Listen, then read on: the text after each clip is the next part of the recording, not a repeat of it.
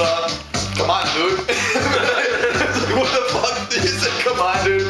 Everybody was fucking saying it in the hospital. Hey, out down there. It's awesome. Hilarious, man. Anytime you hit me up for weed, that's fun. I'm serious. No, you should have heard the guys down there saying. Seriously, next thing you know, people starting back in the gate at the hospital were saying like, shh, fuck, fuck 500 kilometers, come on, dude.